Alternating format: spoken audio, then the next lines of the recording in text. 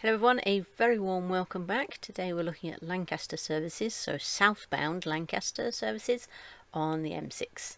And one comes in off the slip road in the normal way. And then handily there are two lanes coming in, actually very clearly marked. HGVs on the left, cars on the right, so of course I followed around the HGV signs. And then the car entrance is actually here amongst these trees. So cars come in here and head down this first signed space here and then can find themselves spaces in the car parking area.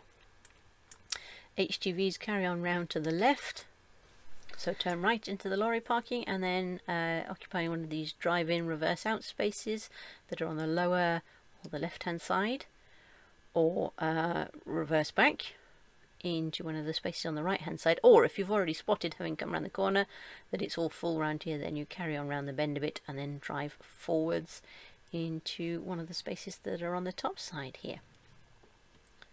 Then of course you would pull forward to come out. Now this interestingly there's a huge curb just here.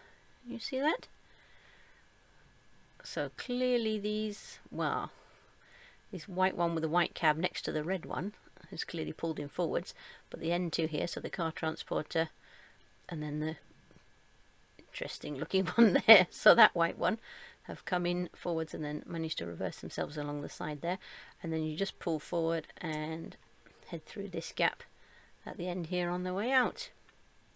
And these three spaces are marked coaches only, but there's a tanker in there and another couple of HGVs. So as we can see from this satellite, it's looking rather full in Lancaster services when the Google satellite came over. And you will see exactly the same thing when we go through the drive-through in a minute. So um, mixed in with all the HGVs, looks crazy busy. And of course another downside is if you're coming out of this slot here, coming across down through here, you're automatically directed through into the HGV fuel so if you need fuel, then it's impossible to pick it up here because, um, well, I guess if you're in these top spaces and you can reverse back out onto the main road and then you can come round, then you're fine to get in the car fuel.